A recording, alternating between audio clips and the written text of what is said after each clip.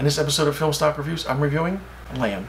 Now, Lamb tells the story of Maria and Ingvar, who are sheep herders or sheep farmers in Iceland. Now, the Icelandic uh, name for this movie is Dirjo, which means the animal, and uh, they.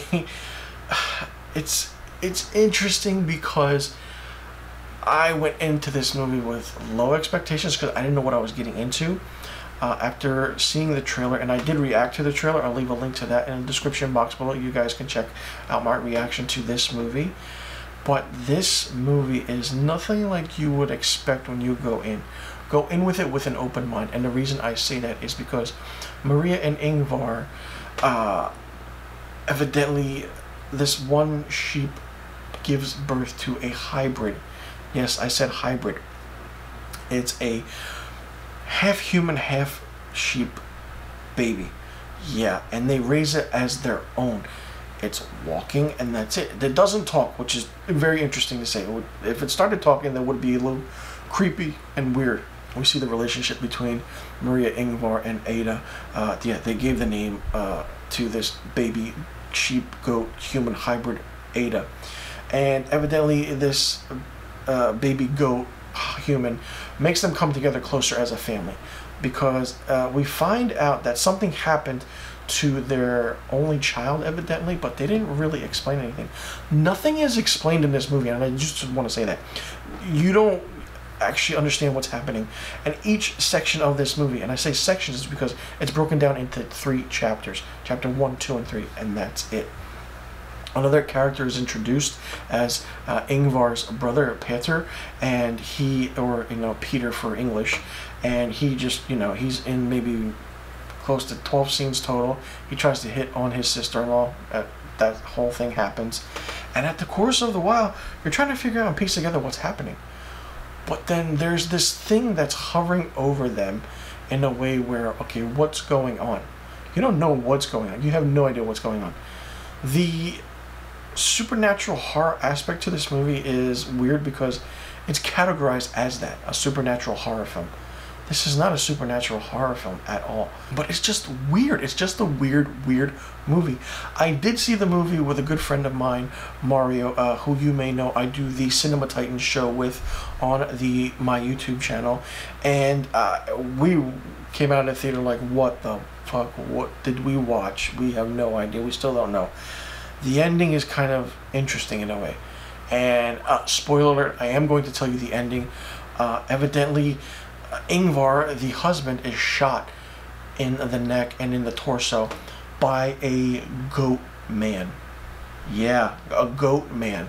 He has the head of a goat and the body of a man. Uh, so in uh, like mythical or folklore things, that's the evidence of Satan, so to speak. So I don't know what the aspect of this movie is getting toward with that, but nothing is explained. And I'm pretty sure everything, you know, uh, when someone sees this movie and watches it, it's, you know, oh, what, what happened? What is this? But some of my others have a good explanation. If this review is confusing, it's because it is. Because this movie is very confusing. Nothing happens at all. Nothing interesting happens at all. Not, it's nothing scary. It's nothing supernatural. It's just point and point one, point two, point three. There's different beats in this movie. A movie has to have a beat to move the story along. This movie doesn't have a beat at all, and it just moves the story along in a way where you can't understand it at all. I would have to say that this movie is really, really underwhelming to a fact that maybe I don't know what's happening or what's going on. But when certain aspects of this, you know, uh, movie is laughable, then something is wrong. And for Noomi Rapace to start in a movie like this when she's a phenomenal actress is very different and very, very interesting. Like I said, this is an Icelandic movie, and it's a supernatural horror. Has no elements of that at all. It's not scary. It's not horror. It's more so a tragic folklore kind of story. And the movie is just it's that's it. Whatever I explained to you with the human hybrid baby goat thing being born, them taking care of it, and then something happening in the end. The brother comes in, you know, and that's it. And the husband gets shot by a goat man, and he takes this child away. So evidently, maybe he's taking his own child into the wilderness away. Who knows what the meaning behind all of this is, but I'm pretty sure someone's going to explain it. Uh, so it's very interesting. For me, Lamb gets zero out of five stars.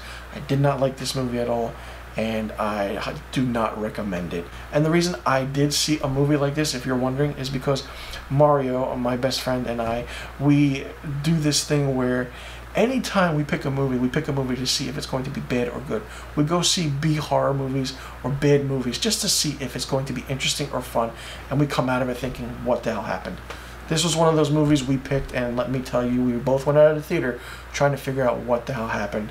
And I'm pretty sure we still, you know, are trying to figure out what happened. Uh, this movie is really interesting, and if you did see it, let me know in the comment section below what you thought about it. Did you like it? Did you not like it? Did you think of any mythical, folklore, Icelandic aspect to it? Let me know if you think the Goat Man is a Satan kind of human being or something. What does the human hybrid baby mean? And, you know, it's let me know in the comment section below. I'm curious to hear your answers and what you think of this movie. This movie was distributed by A24, so A24 does put out a lot of crazy, weird movies, horror-wise, and they're always knocking it out of the ballpark with a home run. And with this one, they struck out as soon as this movie ended. Well, I, I like I said, it's interesting, but it's interesting to a point where it's really, really weird because nothing happens at all. So let me know in the comment section below what you thought. And, you know, hey, get back to me because I'm curious to hear everyone's opinion about Lamb. If you didn't see Lamb, if you want to see it, go see it. But I really don't recommend it at all. And I'll see you guys in the next review video.